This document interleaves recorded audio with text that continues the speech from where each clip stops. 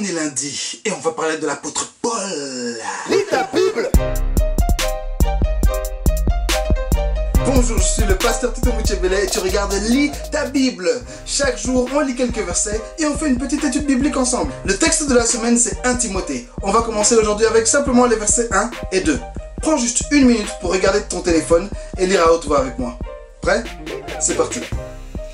Moi, Paul, je suis apôtre du Christ Jésus. Parce que Dieu notre Sauveur et le Christ Jésus, notre espérance, m'en ont donné l'ordre. Timothée, c'est à toi que j'écris. Toi qui es pour moi un vrai fils dans la foi. Que Dieu le Père et le Christ Jésus notre Seigneur te bénissent et qu'ils te montrent leur amour et te donnent la paix. Dans cette lettre, Paul se présente en tant qu'apôtre du Christ. Qu'est-ce qu'un apôtre? Excellente question. Apôtre, ça vient du grec apostolos qui signifie envoyé. Paul a été envoyé par Christ. Il écrit cette lettre à Timothée. Hmm. Et qui est Timothée? Excellente question. Timothée était un jeune homme qui travaillait avec Paul. Paul a fait de lui le responsable de l'église d'Éphèse. Vérité à retenir. Tout le monde a besoin d'un père ou d'une mère spirituelle. Timothée ne vient pas de nulle part.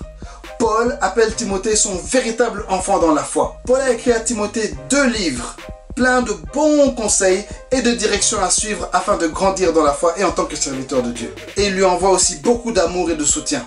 Et c'est à ça que sert un père spirituel. Et toi aujourd'hui, qui est ton père spirituel? Si tu as aimé la vidéo, n'hésite pas à liker, t'abonner ou la partager avec des amis. Des questions, des commentaires, exprime-toi dans la section en dessous de l'écran et je vais te répondre. Les autres aussi peuvent répondre, vous savez. C'est la famille, c'est la famille. Passe une superbe journée et sois la lumière du monde. Des questions? Des commentaires? Ah